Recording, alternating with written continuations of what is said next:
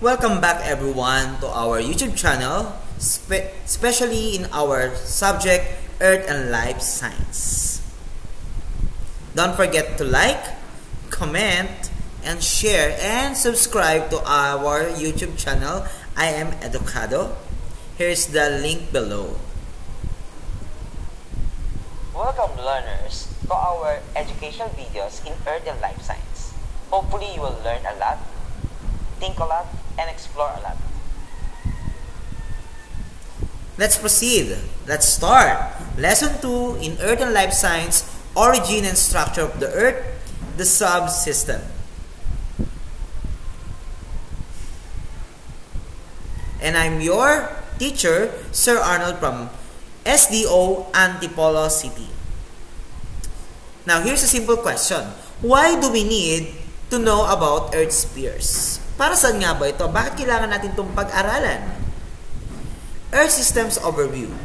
The Earth is a system consisting of four major interacting components. The atmosphere, the biosphere, the hydrosphere, and the geosphere. We will all examine this, these four spheres in details. So what we are waiting for? Let's start mga ka-learners.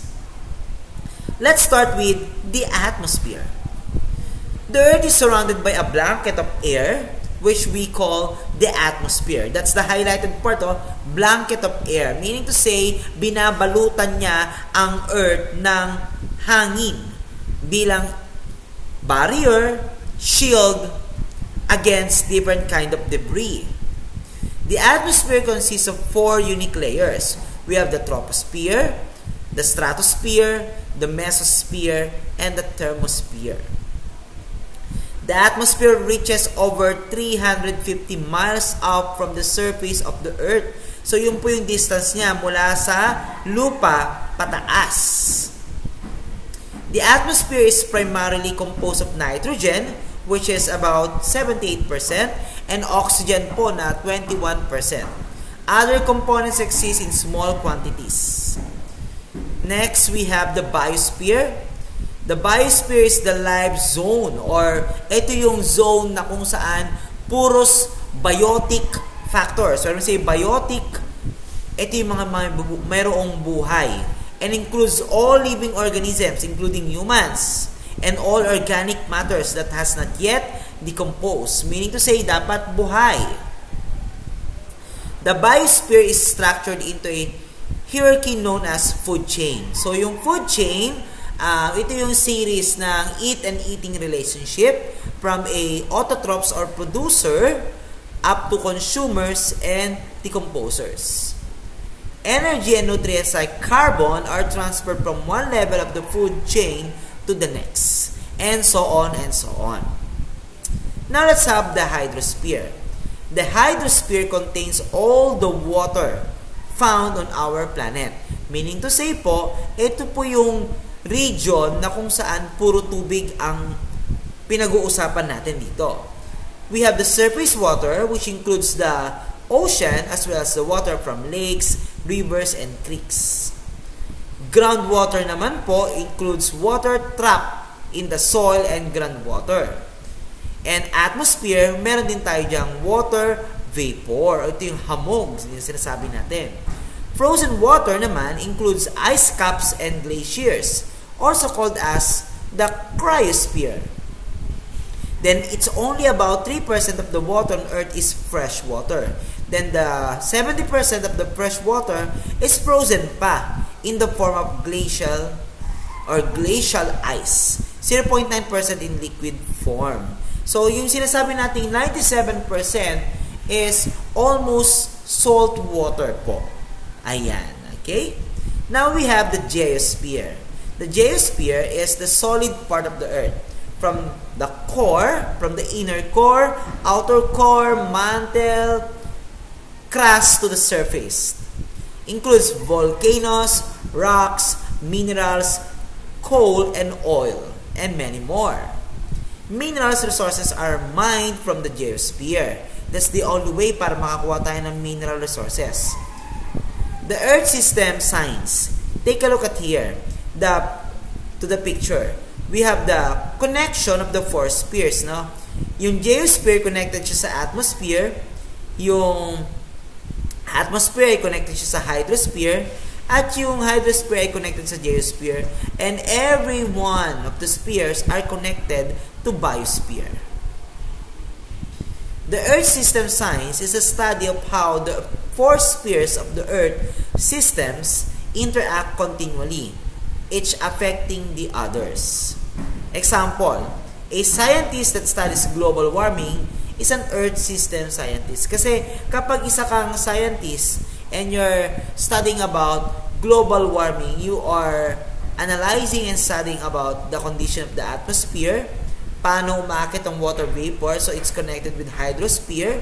Then, um, paano nagkakaroon ng stock of water sa sa lupa, so geosphere yan. Then, how does it affect the form of life on Earth, which is biosphere. So, lahat ng spheres natin, especially the four, are interconnected to each other. In, on this picture, we have the volcano's eruption. It sends ash and gases into the air and sending lava and ash down onto surrounding forests and human habitations. So, yan ay bahagi ng ating geosphere. Siyempre, kapag yung, yung ash umakyat, it gives particles or debris on our atmosphere. Then, syempre, it can affect the form of lives nearing or living near the volcano which affects the biosphere. So dito naman, sa hurricanes naman, these hurricanes sweep across the ocean and into the land, damaging the dwelling of people who live along the coast. So ito ay bahagi ng ating atmosphere. Siyempre, it affects the hydrosphere kasi kapag nagkaroon ng hurricane, there's a great chance that the water level will increase. Then another yung geosphere natin, syempre yung ating kalupaan, it can make the soil na mas malambot, then it can cause different kind of disasters like landslide and many more. And of course, it will affect the lives of the people or different organisms living on that area. And that talks about the biosphere. So see, lahat ng spheres are connected to each other. Another, the earthquakes. So the earthquakes can damage buildings which may kill people, as well as cause fires which release gases into the air. Earthquakes in the oceans may cause a tsunami which can eventually hit the land and kill both animals and people. So itong earthquake na to ay usually nangyayari sa ating geosphere. Siyempre, pag nagkaroon ng earthquake, may mga maapektuhang buhay ng living organisms. So, the biosphere ay affected dito. And of course, it can bring different kind of debris sa ating atmosphere. And of course, yung tsunami, yung kanyang after effect, which affects our hydrosphere. Again, Earth is a complex made up of many smaller systems through which matter and energy are continuously cycled. So, paikot-ikot lang naman yan, yung energy na yan, mula sa isang sphere, papunta sa isang sphere, and so on. Energy and matter flow through Earth spheres, like geosphere nga, hydrosphere, atmosphere, and biosphere. Ang paraan ng flowing ng energy sa atmosphere is mostly by convection. So, yung, yung Earth kasi, consists nga siya ng apat na subsystems which are mentioned earlier. Across whose boundaries matter and energy flows. Yung atmosphere, yung air, yung biosphere, living things, at yung hydrosphere naman ay yung water, at yung geosphere naman natin ay yung land. The atmosphere provides a geosphere with heat and energy needed for rock breakdown and erosion. So, yung hangin, it can help in weathering no ng mga ng abiotic matters natin sa paligid. The biosphere naman receives gases, heats, and sunlight or the form of energy from the atmosphere. Then, it receives water from the hydrosphere and lahat ng living mediums or organisms from the geosphere. So, again, Uulitin ko lang po mga ka-learners na ang Earth ay may mga subsystem pero lahat ng yon ay connected to each other. That's it mga ka-learners. Hopefully you've learned a lot from these educational videos that we have presented. Always remember, share your knowledge and apply your knowledge. You click the link below for the simple assessment that we have. Again, thank you so much mga ka-learners.